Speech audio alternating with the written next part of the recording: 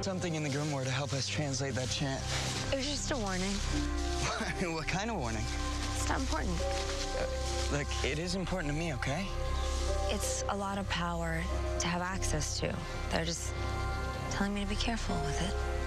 Well, exactly how much power can you draw from a hundred dead wishes?